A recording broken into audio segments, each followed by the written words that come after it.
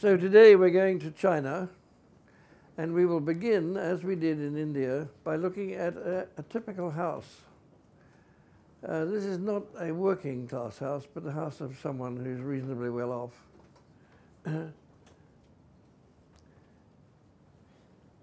and it's a typical street in Beijing, as it was when I went there in 1983, before traffic became a problem and before modernization took place.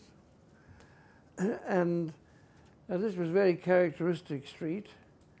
There are no shops or stalls in the street. It is simply plain, and uh, there are a series of houses along it. Each one has a high wall which stops you seeing inside, and a single entrance. And the house we're going into is the one in the foreground. when you go in, you are aware of entering an entrance court and you turn to the left and go through into a transverse courtyard. uh, but the point I want to draw attention to is that the main courtyard of the house is actually walled in with a separate entrance. and that main courtyard, which has high walls on all sides, is the private part of the house. And it is, as you can see, more or less a square, and it is in the center of the house. and it has always a characteristic plan. The entrance is centralized, and you go up an, a central path uh, to a hall, which is the main hall of the house at the far end. That access is traditionally and nearly always, almost without exception in China, facing south. That's not surprising, is it? Because it means in winter you're facing the direction of the sun at midday. But there are other reasons for it. Uh, in China, in many parts of China, you get very cold winds from the north. Of course, the north is the direction of darkness and the direction of, of uh, cold. And in addition, uh, it may be important that in, in the early days, uh, invasions tended to take place across the frontiers to the north. So in, there are many reasons for regarding the north as an undesirable direction in China. so here we have the axis north to south. you notice it doesn't go through to the street, and the reason for that, of course, is to give you extra privacy. But it's not so much privacy from public gaze as privacy from evil spirits. For traditionally, it was thought that uh, evil traveled in straight lines, and therefore, if you could uh, enter with a, a bent entrance like that, a zigzag entrance, then you could avoid evil entering your house. Uh, to emphasize that, it was common to also introduce a mirror in the days when mirrors became available, either over the entrance or at the back of the entrance, so as to reflect evil out of the house. So here we have the main approach. Now there is an exception to this rule that the entrance is a bent entrance, and that exception is if the family were important, an important family uh, related to the royal family or major nobility, then their importance had to be expressed by a central entrance. And the main entrance was actually on the street then. This this uh, transverse uh, courtyard is clearly where goods would be delivered, where servants would work. In fact, it's where male servants lived. It's also where horses would be stabled. Uh, and so uh, that allowed the family to be private. Uh, when you come into the courtyard, you notice that apart from the main drive to the great hall of the ancestors at the end, there is a cross axis. And the cross axis is to two other halls almost equally important, also quite large. And those halls are for members of the family who are not living in the main hall. The main hall would be the residence, of course, of the senior member of the family, male or woman, and a spouse, and perhaps some unmarried children. And these two side halls would tend to be for married members of the family. so, uh, elder son, uh, important members of the family who were related closely uh, would live there. Now, you noticed I called that the Hall of the Ancestors. And the reason is, of course, that for, in China, respect for the ancestors was so important that it became a major part of religious observance and ritual.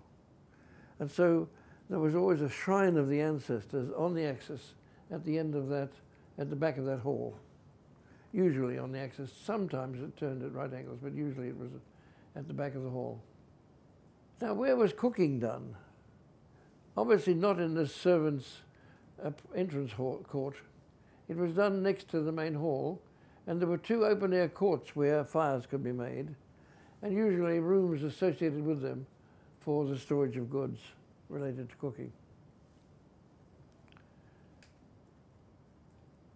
And then you see there's another courtyard at the back, another transverse courtyard, and that is the courtyard in which the women servants lived, who looked after the children and the family, and had to be kept separate from the men servants, of course. And that, that was also the area, of course, where goods could be brought in for cooking. So sometimes there is, not always, but sometimes there's a, a, a back door as well onto a back street or onto a main street on the northern side. So the, the, the elements to notice are the very high surrounding wall, true of every Chinese house, that there is a central courtyard, which is the main courtyard for life, that on it is a cross-axial plan and three main elements. That there's a central door into that living space, which may or may not extend to the street, that there's nearly always an entrance transverse court, and often in a large house and transverse court at the back as well. This is the entrance from the street, looking in at a solid wall, which is called a shadow wall in China, which is the wall that stopped the evil spirits coming through into the house. So here we are in the, we've gone in through that doorway I showed you, and here we've entered the transverse entrance court. And on the left, we have the entrance to the main house, up a flight of steps, centralized entrance. So here we are looking, up, we've gone up the steps, we're looking into the courtyard of the main house through the gateway, centralized gateway of the main court. What you're looking at, of course, is some children's uh, uh, stools and chairs, uh, and that is due to the fact that this house was expropriated by the government and made into a school for young children. Here we are then in the main court, and you notice that the Hall of the Ancestors has a higher roof. And then the side halls uh, slightly lower, but also very large. All of them approached up steps. Looking in the other direction. And now we're standing next to the Hall of the Ancestors, looking at a, a, one of the side halls. So that's the Hall of the Ancestors and the side hall. And here we are looking from the Hall of the Ancestors down the axis to the entrance from the street, from entrance from the transverse uh, entrance court.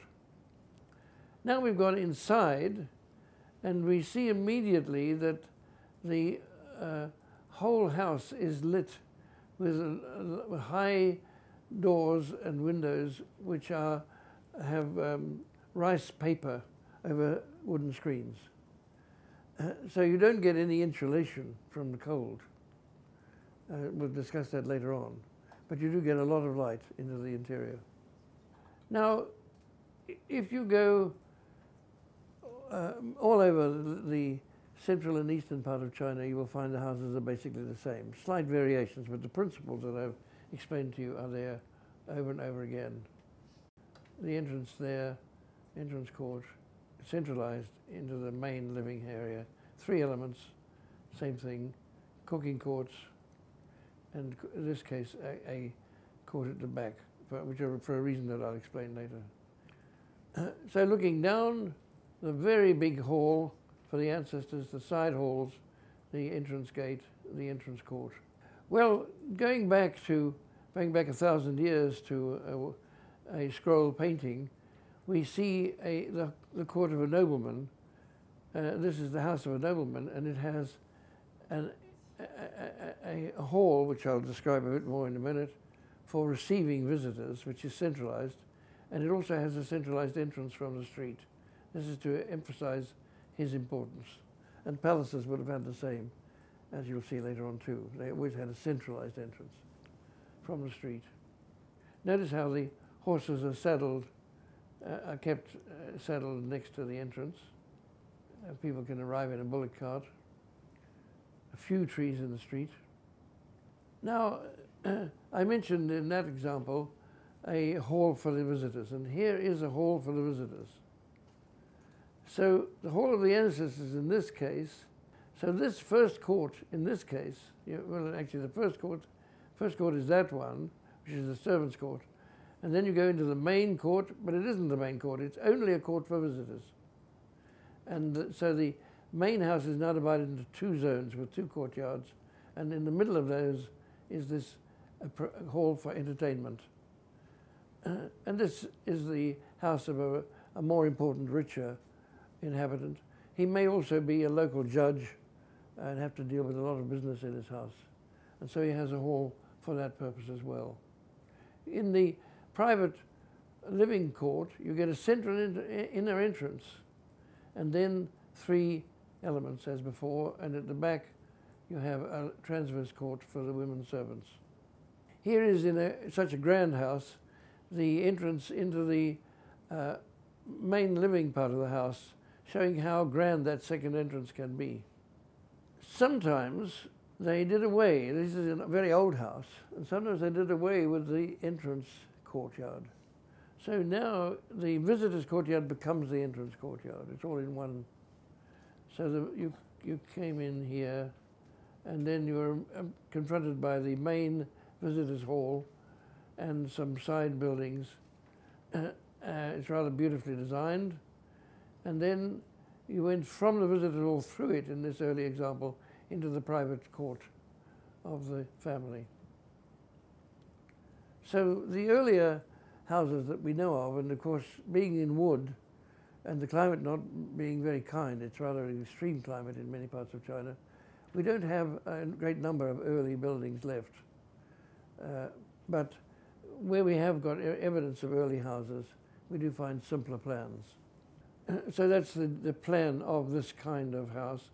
You notice, I think it's incorrectly labeled. This is, this is a, a modern use of the house to have the kitchen there. Should be up here. The guests certainly might have stayed there, and some of the grown-up children stayed there. The guest hall with a door at the back, which was normally kept closed, entering into the private house. And so we're going into such a house. Here is the main door from the street rather grand. And now we're in the, the visitors' courtyard, the entrance courtyard, looking at the hall of entertainment. And now we've gone into the private hall of the house, the private courtyard, with the main hall of the ancestors at the back. You notice the children are very heavily dressed. Uh, and that ex explains something about the way they cope with the climate. because it was very hot in summer, they designed the rooms so that they could be opened for ventilation. and uh, there would be, you could take down the, often take down the uh, rice paper screens and just have open screens for ventilation into the rooms. Uh, but the winters were also very cold. How did they cope with that? Well, they were lucky enough to discover at a very early stage the weaving of silk. Uh, we don't know how early, but it seems to have been discovered 1000 BC or earlier. Uh, and once they had mastered the making of silk fabrics, they had a material which is an extraordinary insulator, very light. And so it was possible uh, for the Chinese to dress in seven or eight layers of clothing and arrange to have seven or eight layers of air between the la layers of fabric and so they could get a tremendous amount of insulation very easily. So it, it wasn't hard to cope with the winter by simply clothing people in uh, many layers of clothing. So here you see uh, the rooms opened up, and of course the screens for decoration, uh, painted screens, uh, uh, and uh, the stone floors, and very heavy roof, which we'll come to in a moment. Again, the very heavy roof is very good for insulation in both summer and winter. Notice how much transparency there is in the room. Now, because the floor was stone, it was often very cold in winter. You're talking about temperatures of 20 degrees below, below zero, below freezing. and so the Chinese developed a very clever way of coping with that. They, because they sat squat, squat legged on the, uh, on the floor uh, normally, they designed a platform you could, you could squat on, and under the platform you could put hot stones or uh, heating vessels. And so you could, on this long, uh, large flat table, you could seat as many as eight or ten people. And they could be sitting around in a circle having a conversation or playing games. And the whole floor would be heated from underneath. Hyper, kind of hypocaust heating, but introduced into the room on top of the stone floor. Uh, and gradually, those flat tables developed sides and backs and became very large sofas. We, they're not really sofas in our sense, they're not upholstered, they are, they are made of wood, they have a flat floor, but uh, they, and they can see, seat, as you can see, many people, but they do have raised side and back. And then at about that time, this is about uh, the uh, beginning of the Christian millennia, about 2,000 years ago, they seem to have adapted from the Persians, perhaps from the Persians, the idea of furniture, which would in involve chairs and tables. These had normally been reserved in ancient Mesopotamia and Persia for royalty and very important people. But they began to become, to become in China a way of, of uh, amplifying the range of, and, of flexibility in use of furniture in relation to these large seated areas. Notice how people are draped in these many layers of silk. We don't, as I said, have architecture uh, surviving very much in China from more than about 1,300 years is about as far back as we can go for wooden architecture. Uh, but luckily we do have some representations on engravings from 2,000 years ago. So we get a sense of what buildings were like. Well, the first thing you notice is that if you connect that, that, and that, you've got an axis, haven't you? So, th and that's centralized. So this is a building, uh, the function of which we don't know for sure. Uh, some interpreters think it, it's a temple. Some interpreters think it's a house. Uh, we do know that houses tended, in, the, in, those days, particularly at the end of the Han period when it became unsettled, to have defensive towers if they were important houses. So this may be a defensive tower, but it's more likely to be a religious building with some sort of a vertical element to draw attention to it. So it's all built of wood, and it has very heavy roof of tiles for the reason that I've already discussed in talking about Indonesian architecture, and that is the problem of earthquakes and the uh, desirability of having a roof which is so heavy that it slows down the movement of the frame structure. Tile roofs are almost universal in Chinese traditional architecture as far as we can see, although when you, in a moment I'll show you a building that is 1000 BC, which apparently didn't have a tile roof. Notice how centralized all of that is. Notice, I'm sorry, here again, the staircase. Now, we've talked about the spread of religions, but uh, Indian religions didn't spread into China very early on. And uh, the Chinese had developed their own philosophical systems and religious beliefs in the Shang dynasty, 1000 BC. of which we don't have much evidence because the books were mostly destroyed uh, in the middle of the Han Dynasty. And so uh, our knowledge of written knowledge of the Shang Dynasty is very limited. But uh, it is, it's pretty certain that the Shang Dynasty had already developed uh, very strong religious ideas uh, in a thousand, around 1000 BC. And these ideas were very much codified into the philosophy of Confucius and the philosophy of Lao Tzu. Lao Tzu is, is a rather fictional character. We don't know whether he ever existed, but he, if he did, we don't know for sure anything about his life. Uh, but Confucius we know more about. He was a, a, a minor government official who was admired for his intelligence and skill and employed in a number of successive number of kingdoms and in the course of all of this developed very strong views about the importance of order in society. I think if any of us stop to think about what makes our life comfortable and what makes our life possible the way we live it today, we have to come to the conclusion it's due to order. We couldn't have all the benefits we have had we not depended on thousands of other people who have developed the inventions we use, who have developed the, uh, the comforts that we are able to enjoy, who've made our society stable. We owe everything to a huge number of people who lived before us and are living with us now, who maintain that order. And Confucius became very aware of that and decided that the important harmony of life was due to order. And so it became necessary to respect order in society. So what would that order come from? It would, it would come from playing your role in society and respecting other people's role. Not trying, trying to infringe on their rights, not trying to infringe on their role, uh, but also expecting them, in return, to respect you. Uh, so that kind of mutual interdependence in the order of society became the fundamental philosophy of Confucius. and he propounded it in a number of writings, um, which were collected, collected as the Analects, which came down to us and were, of course, uh, in, embroidered upon by many disciples.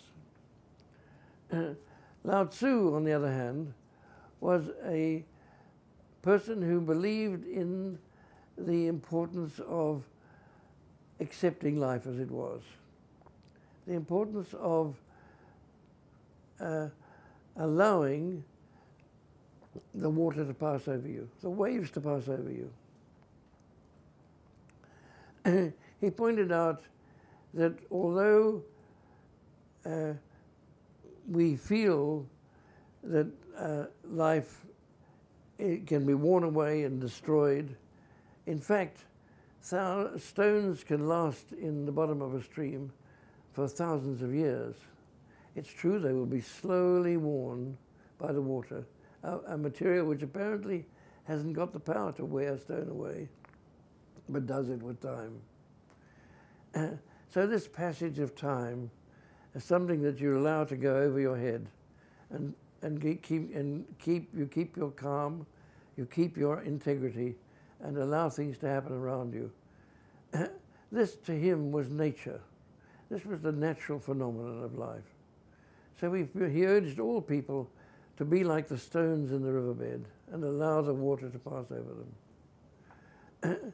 and so for Lao Tzu, apparently, and again I say he may be a fictional character or we know little about him, but his, the teachings of the people who followed this philosophy, which came to be called Taoism, was that we are one with nature, we have to accept it, and we have to live with nature and not fight against it.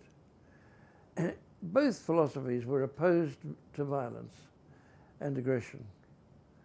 Both philosophies felt that one could only be happy by uh, avoiding aggression. In the case of Confucius, by respecting order and respecting others. In the case of Lao Tzu, by allowing things to happen around you without reacting aggressively.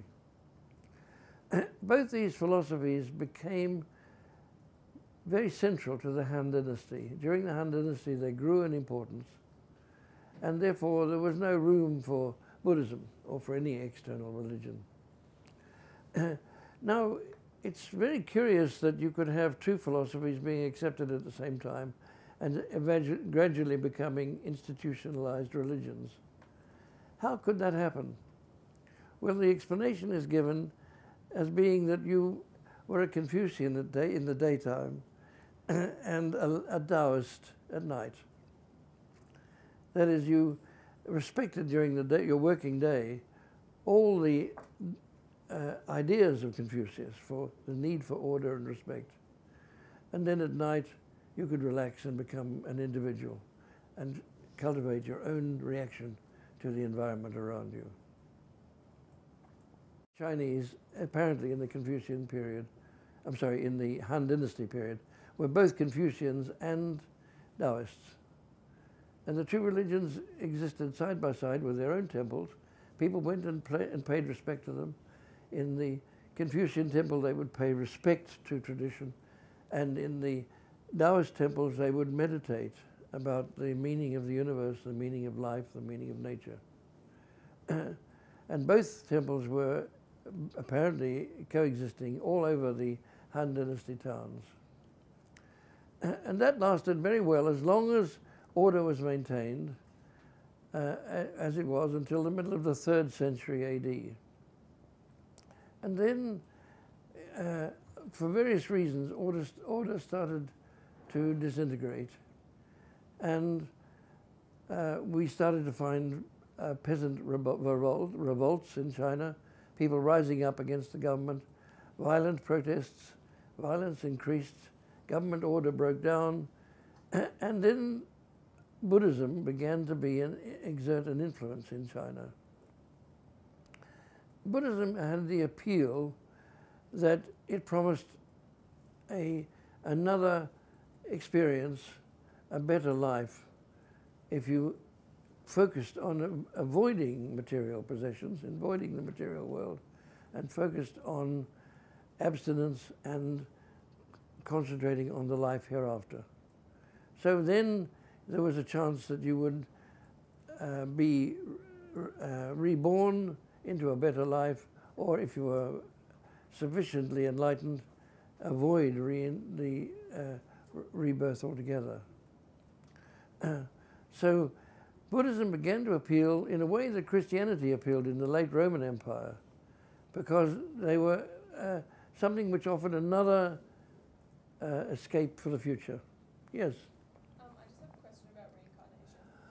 When, when you were classified as enlightened, was that, did you have to uh, fill in like a time debt, or was it just how good you were deemed in that past life? Did it have to happen seven times, then you go? I, I think that it all depended on your beliefs. I mean, it depended on there were different phases of, of belief. And you're quite right. Sometimes there were a series of stages you went through. In other, in other cases, and in the case of the Buddha himself, it seems to have been a single enlightenment.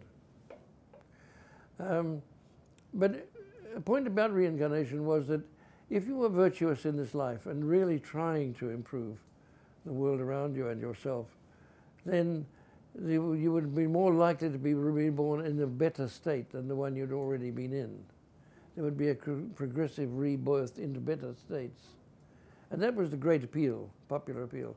And it was the appeal to the Chinese in this uh, land which was beginning to be chaotic and, un, and, and unsafe uh, that had the same sort of appeal as, as Christianity had to the late Romans. There was an appeal of the afterlife, of something to look forward to that would be better than this life, better than this world. So Buddhism began to take hold in China. In the first century AD, it was known. In the second century, it, it was there, but not very important. In the third century, it began to grow. By the fourth century, it was a very important religion in China. By the fifth, it was the main religion. And Taoism and Confucianism were in, minor, in major decline. They were becoming minor religions.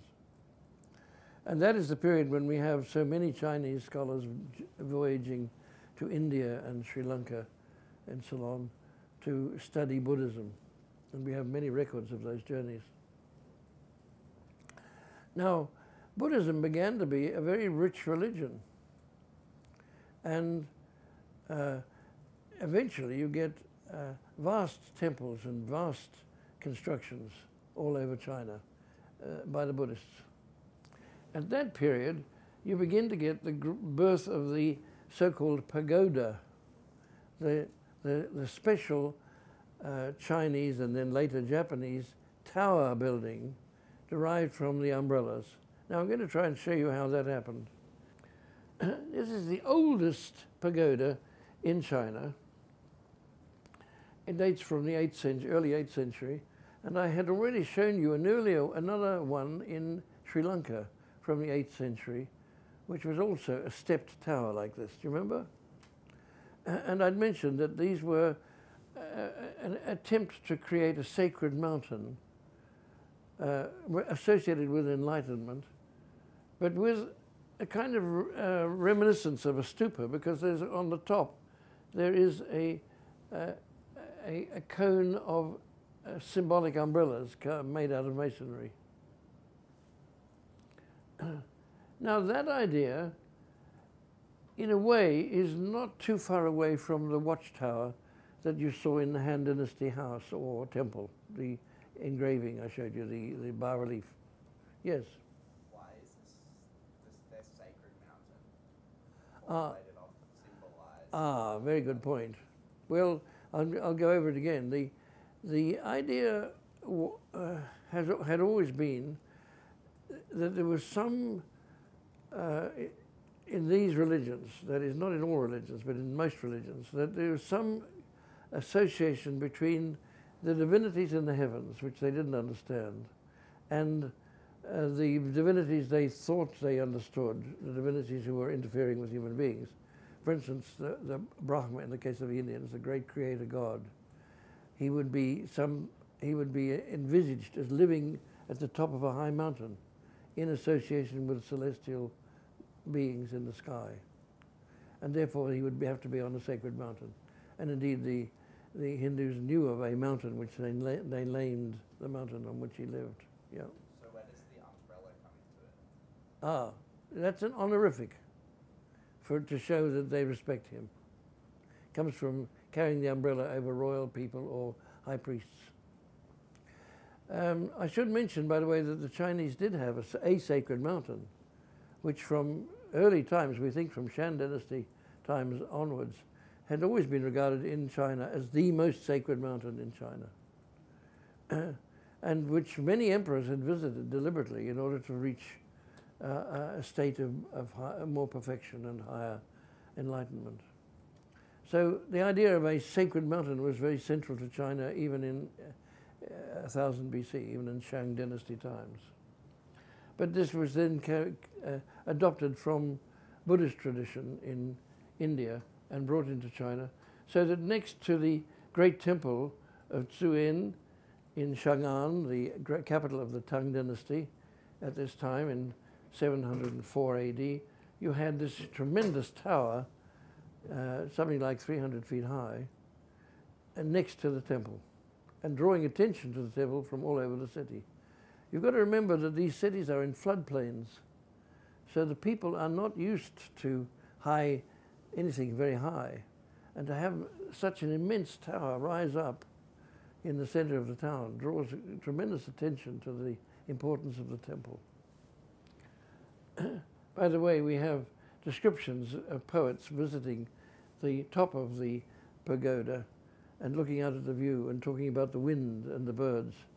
And so we know that they were allowed to go to the top and enjoy the, something very un, unusual in a floodplain, this distant view. Well, you get variations on that, and the variations begin to look more and more like a series of umbrellas. now, that is not really very surprising when you consider that although we have the surviving stone ones, we don't have any of the surviving wooden pagodas. Uh, for two reasons. First of all, because it's so long ago and wood didn't last long in China. But secondly, because so many of them were actually deliberately destroyed by the emperor in the, in the 9th century AD, the late 8th century AD. Uh, they were destroyed because just as Henry VIII decided that the monasteries were too rich and, um, and a burden on the country and not supporting or contributing to the country, so the, China, the Tang Dynasty emperor decided the same about the Buddhist temples. They were eating up the resources of the country and not giving anything back to the emperor for the running of the country. And so he started to destroy, deliberately destroy Buddhist temples. And so we, if there were wooden pagodas, and we, we know there were from some records, then we don't have any record of them from such a long time ago. but the fact is that when you construct in wood, it's much easier to do a series of, of uh, relatively small stories rather than tall stories as you had in stone. And so it's much more likely that this is a, a development in wood, which we see here immortalized in stone, but it's probably a development that took place first of all in wood. And then, of course, we do have surviving wooden pagodas. Now we have them of two types. In China itself, we have them from only 1056 AD. That is the oldest wooden pagoda surviving in China. But we do have another extraordinary type, and that is the pagodas surviving in Japan. Well, why would we regard them as being Chinese? Because they were built by Chinese Buddhist monks in Japan. And why would they survive in Japan and not in China? Well, that's an extraordinary question, but it's a strange thing about the Japanese eh, that they didn't allow religious shrines to deteriorate. They replaced them and repaired every, as each wooden member would become unstable or rot, they would replace it. So the Japanese had an ancient tradition of maintaining religious sites that the Chinese don't seem to have had. And so the Japanese pagodas go back to the 7th century AD, or even maybe the end of the 6th, and we'll look at those in, later on. But here is the oldest Chinese one, and of course you can see that it represents the, the it really represents the stupa as a series of umbrellas, doesn't it? Now here's the interesting thing, is that inside it contains a series of sculptural groups, and the main image being at the bottom of the seated Buddha. Of course, by this stage we are talking about Mahayana Buddhism, not Hinayana Buddhism. This is the Buddhism which did accept the Buddha being worshipped as an idol. And so here is the image of the Buddha. But an even interest, more interesting thing happened. Here is an older uh, temple building, and uh, what, in, what was happening was that the temple began to be multi-storied too. So instead of having, as you had generally, a temple which very much was like a grand house with a series of single volume halls, one behind the other, transverse halls. In some of the temples, you started to get multi-storied temples. Why? Well, because you could include a grand statue protected from the weather inside, couldn't you? But normally, Taoist temples and Buddhist temples and Confucian temples were exactly the same. They were uh, modeled on houses of a grand, grand scale with a series of transverse halls, one behind the other. Sometimes you get uh, four or five gateways and then a whole series of transverse halls. Now this is the bottom part of a plan slide. This is the top part of the same plan. And here are the series of transverse halls with the main hall in the center and behind it a private hall.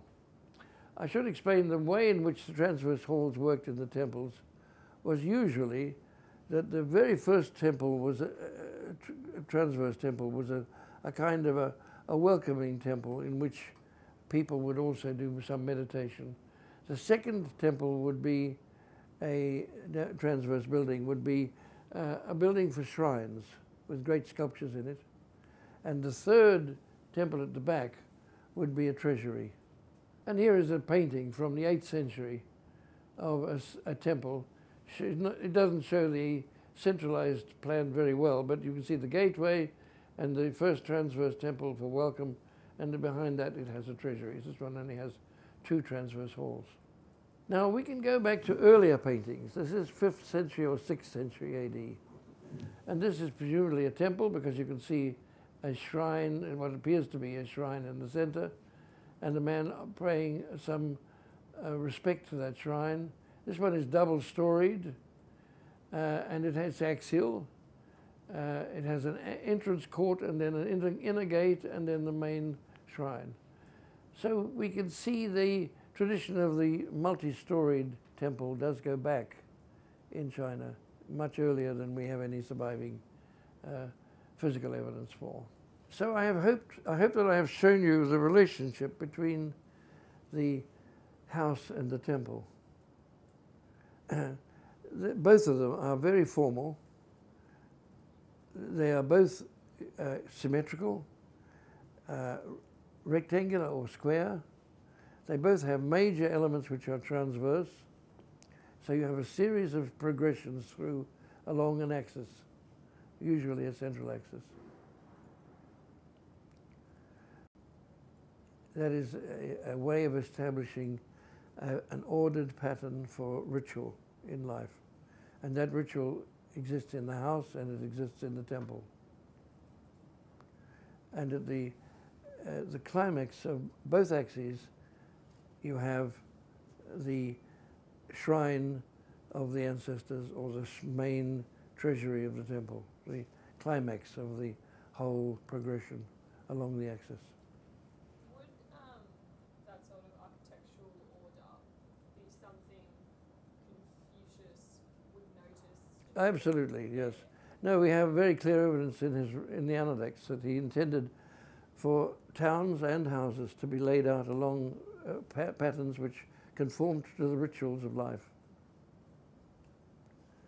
And when we come to towns, which we'll do next week, you will see how strong that Confucian influence is in the pattern of the town. Was, was there any of, did he influence at all Buddhism that came into China afterwards, therefore, like that sort of order? Yes, absolutely.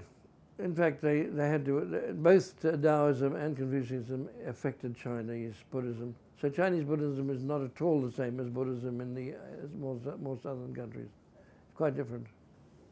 Sorry, I have one more question. Yeah, yeah, go on. Would you call Buddhism a religion or a, or a Ah, very, very good. Or the other way around? I, that's very, very good. You know, you noticed from the diagram that I put up on the wall last week, uh, of, and way, the way in which, uh, two weeks ago, the way in which the, uh, these great thinkers developed new philosophies in the 6th century BC.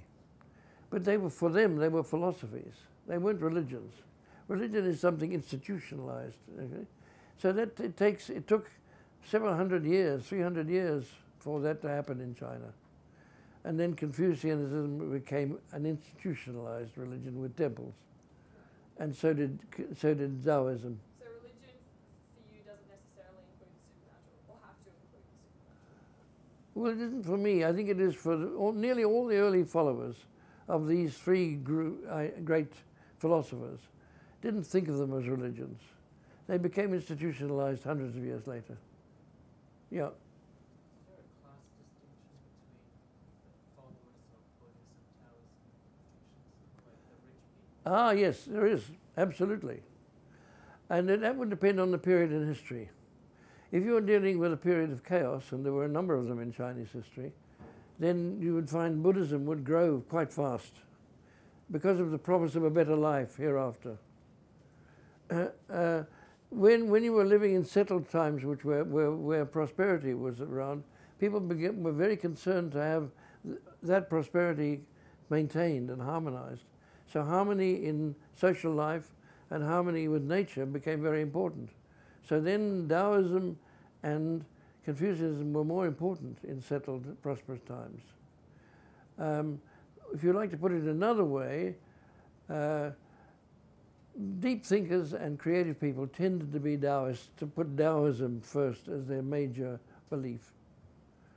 Uh, people who were concerned with maintaining government and law, uh, they would be very concerned with Confucianism. Uh, people who were finding life hard because they were working long hours and laboring too hard and had not enough income would tend to be more favor Buddhism more. And that would vary, as I said, depending on periods of hardship or periods of prosperity. I've been asked a question about the position of the pagoda in the plan. Well, the important thing was that the that no element should interfere with the access from the entrance directly to the transverse halls. So that the pagoda could not be on that axis. It would have broken the progression of movement. So the pagoda has to be on one side or the other. In my experience, it's mostly on the right-hand side. I don't know whether anybody here has had another experience and seen it on the left-hand side of the axis. And why, the, why, why, why it should be on the right-hand side, I'm not sure. But it's not never on the axis, it's off to one side. Does that answer the question? Okay, now the other point that I, perhaps I should make a little bit more is the way in which uh, the practice of religion in China differed from that in India. And that is that in Mahayana Buddhism, in India, Nepal, uh, Indonesia, Malaya, Burma, it tends to be, Buddhism tends to be a religion of making offerings and praying to idols. Um, the meditation side of it, which is present in early Buddhism, is played down more in southern Buddhism. But in Chinese Buddhism, it's much more important. What, the way that came from is possibly from Taoism, because Taoism also believed that harmonizing, being in harmony with nature, meant going out into nature and sitting and absorbing it and meditating about it. And so that idea is taken up in Chinese Buddhism. And so meditation becomes a very central thing in Chinese Buddhism. And this becomes more important as time goes on. Now, the other thing that we need to look at is how far this Confucian order spread in Chinese society. Did it spread into the, the working class? Did it spread into the farm areas? Were farmhouses built on Confucian principles of order? well, here is a big farmhouse and you can see that although it's very extensive because of the need for many storehouses and houses for laborers, the central element is a series of transverse halls with the largest transverse hall at the back and a central entrance up a flight of steps. So it is clearly the same sort of plan. Two courtyards, an entrance courtyard and a main living courtyard to the farmhouse. Small farmhouses, and these are associated with shops, and again, we have a single courtyard, and in, in this case, it's a double-storied building uh, with the upper floor being the Hall of the Ancestors and the lower floor, floor being for business and visitors. If you take uh, another kind of uh, traditional farmhouse, you have a bent entrance, you have some workers' rooms at the bottom, and then the same three hall plan with the main Hall of the Ancestors at the back and two side halls. you get smaller variations of that, but it's still an absolutely symmetrical, absolutely centralized building, isn't it? With a high wall around it and a single courtyard. And again, the double story section at the back, so that the Hall of the Ancestors is on the upper floor. And these are more examples. These particular examples are from the area between Beijing and Shanghai, but you will find variations of them in many parts of China. Uh, so here, looking at a plan uh, from uh, of the roof and then a plan below, you see how the upper hall um, becomes uh, just the hall of the ancestors with two private retreats on either side. And below that is a reception hall with, again, some private rooms. And the two side pavilions have become single rooms. There's only a small courtyard to the whole complex. And this one, because it's more modernized, has actually got an ablutions block on one side. And here is the courtyard itself. I didn't mention the roof construction. You might like to look at that roof construction as an introduction to the issue of how the Chinese handled pitched roofs. now you've got to remember that a, a pitched roof in China was not just uh, a- pitched roof with a galvanized roof over it or something like that. It had three layers of tiles, so it was extremely heavy. So the roof construction uh, becomes a central issue in Chinese uh, buildings. So you have to have vertical columns, and then you have corbelling in wood, and the corbelling uh, carries a beam which spans across, and it in turn carries another beam higher up, and then in turn carries another beam higher up. So it's all vertical and horizontal. Notice, apart from the actual rafter that carries the tiles, there's no diagonal members. It's all horizontal and vertical. And here's a diagram through a slightly larger house.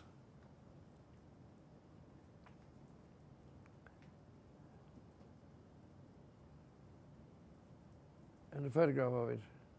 And that's the upper room with a balcony looking down into the courtyard. And the stairs going up.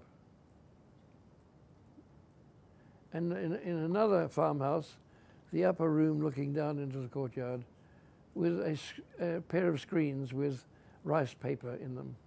And here's a slightly larger farmhouse on the edge of a lake, and it has two transverse rooms which are double storied. Before I go back to talk about roof construction, here is a typical street in one of China's most historic cities. This is Chang'an, the capital, of course, of the Tang Dynasty, uh, and it's in its, its modern form, Xi'an, and uh, these houses probably don't date back more than 400 years. But look at the street. It is a very simple street, improved by having some shade trees. But again, the houses, all the houses have is doorways, a single doorway into each house. You get a sense of how a Chang'an house would have looked 400 years ago, 300 years ago. And you went in, and the tiles on the right are the shadow wall, the wall that is blocking the evil spirits coming in and reflecting them out again. And you're going through the bent entrance now, through the, the transverse entrance court, into the main, the axis of the main court. And now we're in the main court. These houses are now, of course, subdivided and lived in by three or four families. But here you get a sense of what the main court was like originally. So, talking then about the construction, the oldest houses that have been archaeologically excavated from the 14th to 11th centuries BC seem to have had roofs which are, were thatched. They had a series of columns on a platform approached upstairs. The stairs were in the center of openings, which showed that they were symmetrical. And uh, the rooms, are, the buildings are made up in the uh, way we've already analyzed by having a platform and then columns on top of the platform and then a roof. And the columns filled in with walls. But the centralized axial quality is already there in the Shang, in the uh, Shang dynasty houses. And so we think that the Confucian ideas go back long before Confucius. Now, as I said, the principle of uh, Chinese construction was vertical and horizontal members. and that lack of triangulation did allow a curious thing to happen. If we go to those diagrams on the left, this, is, this diagram is the construction system. What is actually possible is you can actually vary the shape of the rafters. So instead of just being straight like that, they can be curved like that. So Chinese traditional construction made possible the introduction of curved roofs. Here is the way in which it was done, the wood never went into the ground because of the danger of wood rot. so it went onto a stone uh, platform, a base, and then from the stone base it went up as a, a cross-braced structure, braced always horizontally and vertically, uh, until you got to the top, and then you had the opportunity of introducing these curved lines, which were not possible, so nearly so possible if you had triangulation.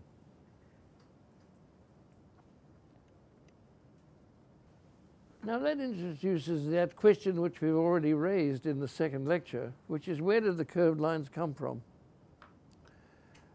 the Chinese have a traditional belief that they came from the idea of flying, of winged birds. Uh, but maybe they didn't. Maybe they do come back from the influence of the Dong Son culture much earlier on. However, it, the curved lines don't appear in Chinese architecture until the 6th century AD. They don't occur in Han Dynasty architecture at all. and so uh, we simply, we're not sure of how they came to be introduced. But certainly, uh, when they were introduced, the curved lines were not only uh, in the cross section, but in the long elevation as well. And so you get the lifting of the eaves at the corners in the most marvelous way. Han Dynasty below, and late uh, late five, dynasty, five, five kingdoms, and Tang, Tang Dynasty at the top.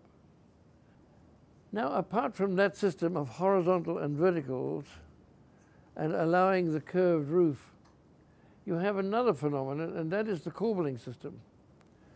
Because you can actually make the corbelling very elaborate, can't you? So you can go from a simple corbel to a multiple corbel, and that they did. So you cut down the load of the heavy roof on the wooden members by distributing it through corbelling. This is a Han Dynasty tomb, memorial column. Uh, and so we know in the Han Dynasty that they did that. Noticing, notice how they also radiated the uh, rafters underneath the roof, the horizontal rafters, the eaves rafters. This is also Han Dynasty a tomb model made in terracotta of a tower with balconies.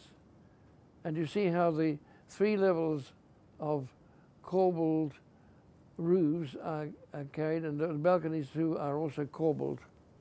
For the next evidence, we go to the 6th century AD, and this is a Japanese maintenance of a Chinese gateway to a Chinese temple, a Buddhist temple in Japan. And although the pitch of the roof has seems to have changed with time, the actual construction system seems to be original. Very simple corbelling system at the top of the columns. Next. And that starts getting more elaborate. And here is one of the oldest surviving Chinese temples. And it has very elaborate corbelling system underneath the main beams. Bracket corbelling. now, what becomes intriguing is that when you come to the eaves, the corbels are actually at an angle. And so you get gravity in interfering, and you start getting counterbalance supports. So there's a tendency for these to fall down and push the eaves up. And so that system of of counterbalancing is used to strengthen the eaves. This is also a very early survival. Uh, it, it's a cave temple with a facade on it made in wood, thought to be one of the oldest wooden surviving structures, but nobody can date it for, for sure yet. Or they can only date it within 150 years. So it's somewhere around the 8th, 9th, 10th century. Now then you can get a, a triple gravity balancing system for the eaves. And that's what it looks like below. You see, uh, there's the, the main one, and there's another one below it, and that goes another one on top. And then there's a cross corbelling. And it gets more and more elaborate.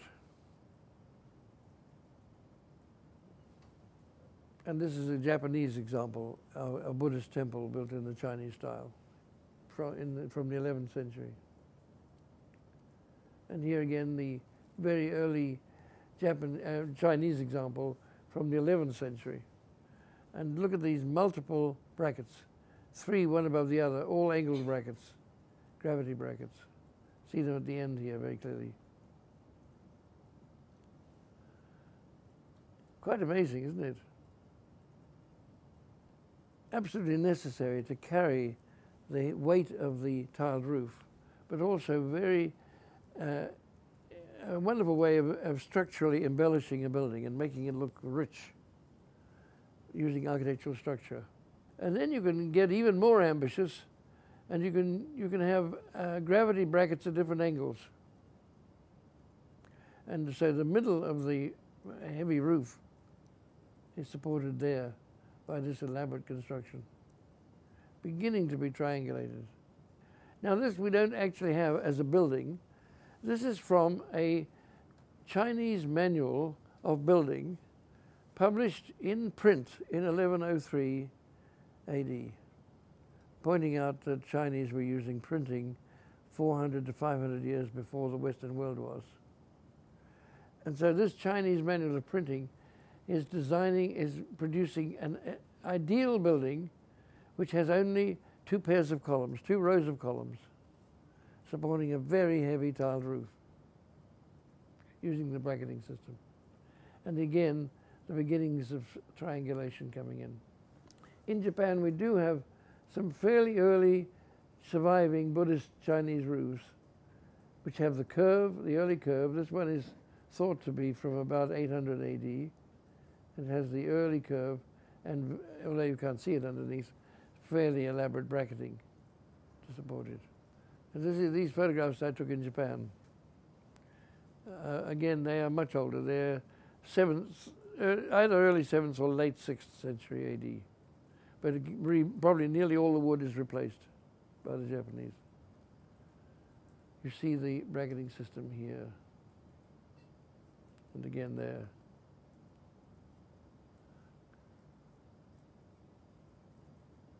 Now, when you come to the farmhouses, they did the same sort of thing, but in a much simpler scale. scale.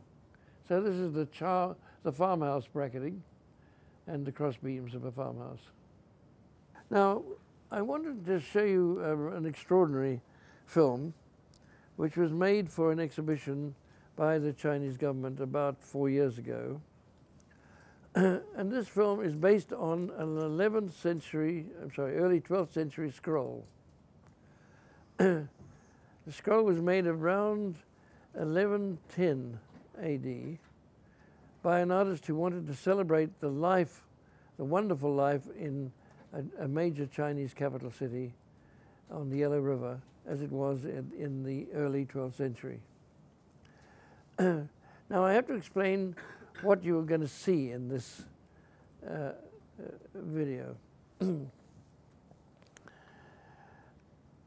what happened after the Tang dynasty declined and they destroyed so many Buddhist temples was that uh, rapidly chaos overtook China and it remained chaotic for about 150 years.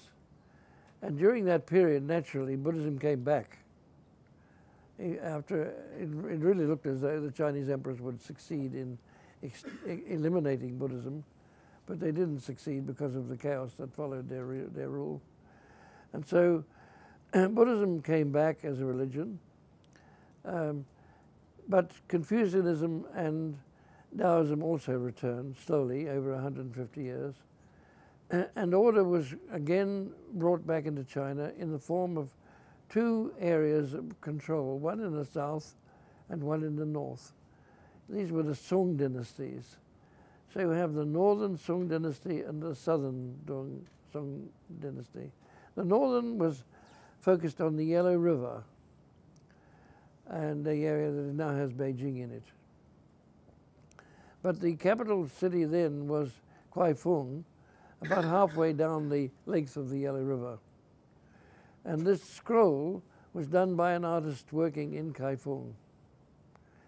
Uh, the uh, intervening period between the return of settled life and order in the uh, 10th century and this scroll at the beginning of the 12th century, the intervening period was marked by uh, an amazing resurgence in population growth. It's thought that in that period, the population of China more than doubled. Now, what happens when you get population growth at such a fast rate is that not everybody can find work. you can understand if you're on a farm, you need so many people to work the farm, and after that, you can't support them. So if you have too large a family, those children, some of those children will have to migrate to another place to find work. And they tended to migrate to towns. And so a number of, a great number of new towns grew up in China. And in the towns, these people had to find work. Now, obviously, they would arrive in the town and there wouldn't be enough work for them. So they would try and invent some way of making a living. If they were interested in cooking, perhaps some of the girls might develop new recipes, invent recipes, which would make uh, their stalls more popular and they could sell the food from stalls. Or if they were carpenters, they might invent new uh, joints, a new kind of product in, in wood or in terracotta. so it was a period of great inventions. Indeed, this was the period when so many of the great inventions in human society were made. Uh, this is the period of printing, of gunpowder, of so many other things that came to be important in the Western world. Uh, but they were developed in China because of this increase in population and the ingenuity of so many Chinese in inventing new ways of living, new ways of earning money to live. Now, this is what was celebrated in this scroll, was the, the life of people who were making, who were developing these new industries, these new activities in a small, what was originally a small town. But Kaifeng grew very quickly to be a huge city. now, what the Chinese government did uh, four years ago was they added movement to the figures in the scroll. So they brought the town alive in a way which is hard to believe you could do without spoiling the scroll, but it's very well done. So suddenly you see the living town as it was uh, a thousand years ago. Amazing, eh? So here we see it.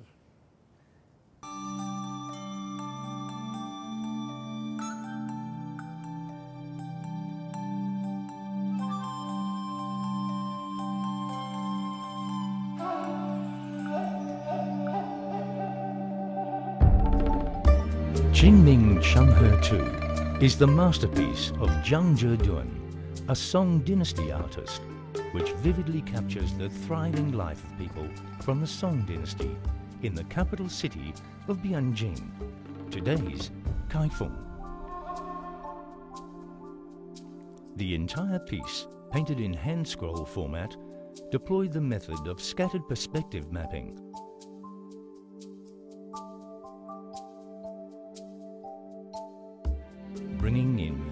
landscapes and numerous human characters, all dressed differently and performing various activities.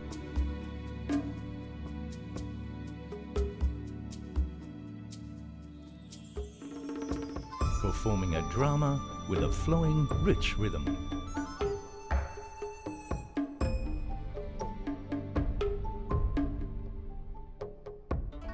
Bianjing City, depicted in the scroll, was the hub of the land and waterways and the passageway of all transportations at the time. After being designated as the capital, Bianjing City saw further economic and culture development. With a population of more than 1 million, it was truly a metropolis in all aspects. The scroll unfolds from right to left moving from the countryside progressively into the inner city. From his unique angle, the painter illustrates people from all walks of life and their economic activities, giving the audience a much richer perspective than if he only depicted inner city life.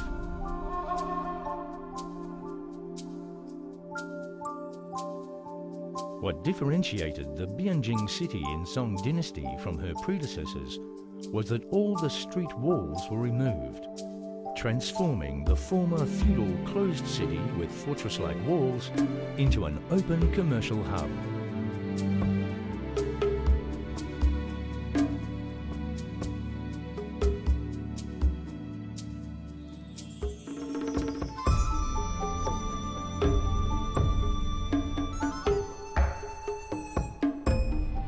Historical records tell us that there were altogether more than 6,400 households involved in businesses of all kinds that covered over 100 sectors.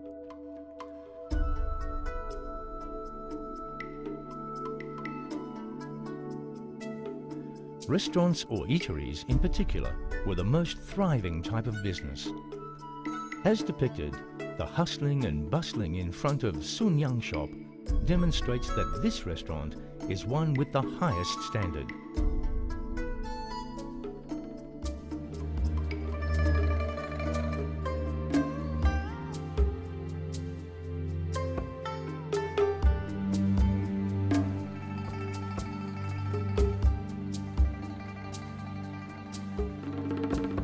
The other smaller ones were called foot shops.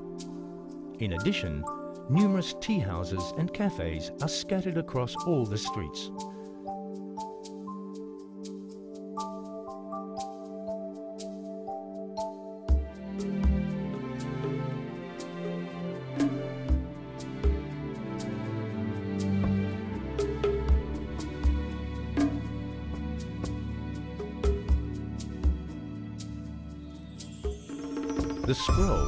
Also depicts other forms of commercial activities.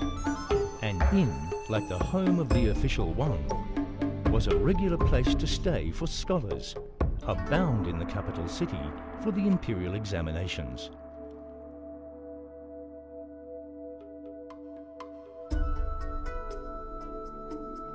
Nearby, a labour market is naturally formed with a group of sedan carriers waiting to be hired.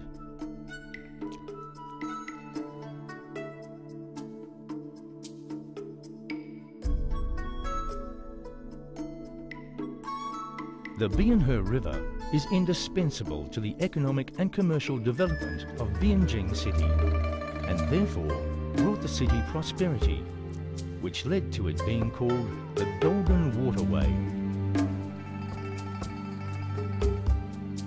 Accordingly, the painter Zhang Zeduan spent one third of all his efforts to capture this thriving shipping business in the early 12th century.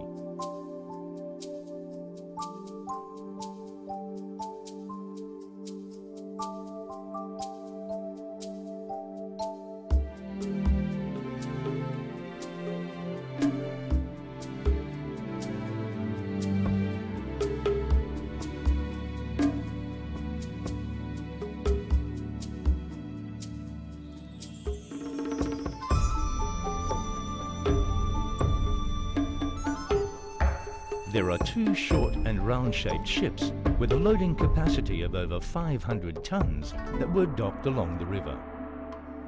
The shipping industry thrived in the Song dynasty and grew to a great scale as early as the year 997, producing as many as 3,000 ships.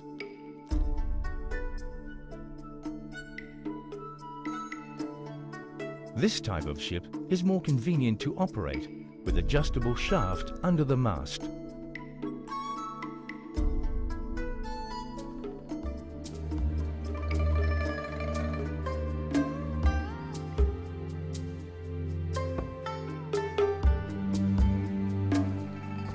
In the painting, there is a big ship which faces great difficulty in passing through the bridge since it cannot be towed by the boat trackers in the middle of the river. Only by lowering the mast is the ship then able to be towed past the bridge with help from over and beside the bridge. However, due to the fast current and the ship's position, the mast fails to recline completely, and this chaos attracts the crowd's attention.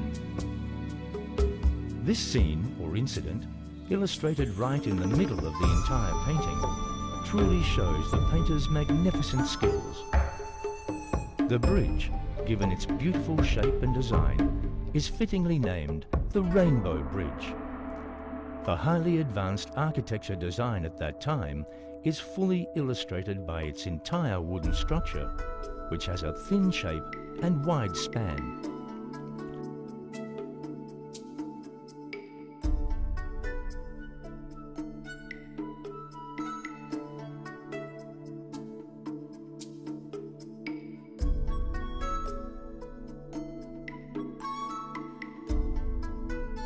The Song Dynasty's shipbuilding technology contributed vastly to the development of import and export trade. Merchant ships travelled across East Asia, Southeast Asia, Arab and even the Mediterranean area. Silk, porcelain and tea constitute the main export goods, while herbs, ivory and jewellery are the major imports. This herbal shop gives a glimpse of the prosperous trade during that period.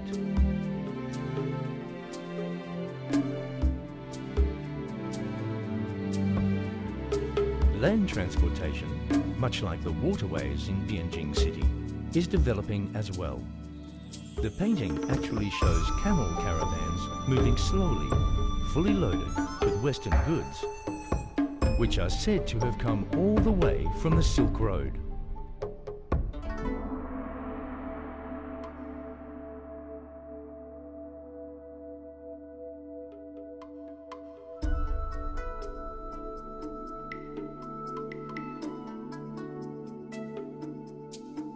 As the Song dynasty cities progress with prosperity, the social standing of the citizens is raised with aspiration for a richer cultural life. Correspondingly, various street entertainment venues are formed to accommodate the citizens' favourite activities, such as storytelling, opera singing, and many other types of performances for them to relax and enjoy.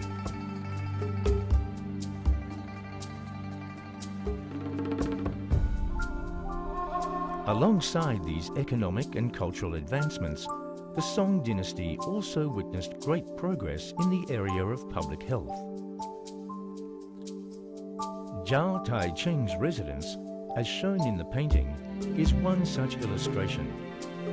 Tai Cheng is the abbreviation for Imperial Doctor. The Imperial Doctor could, as his secondary occupation, also treat ordinary people thus benefiting the citizens to have both easy access as well as professional medical treatment.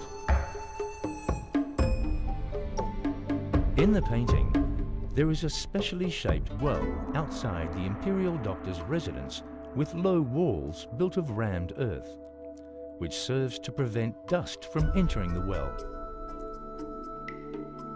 There are many such wells in Bianjing City that have standard shape and are under proper and unified management.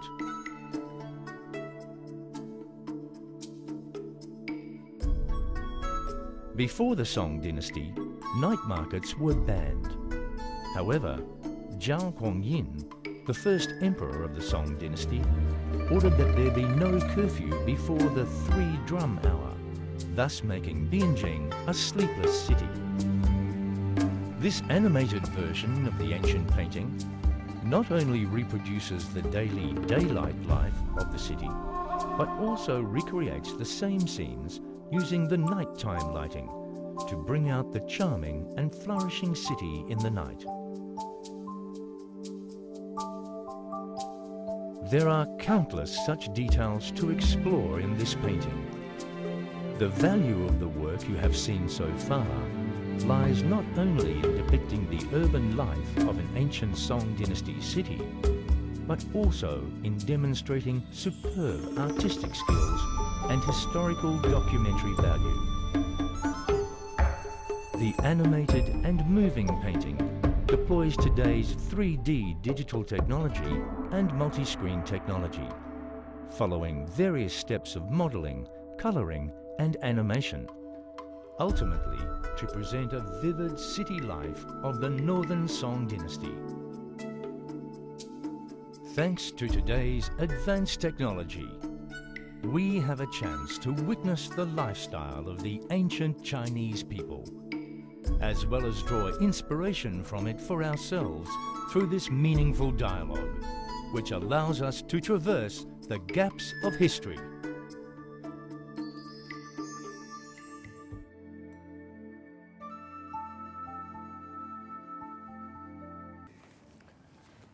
Thank you very much.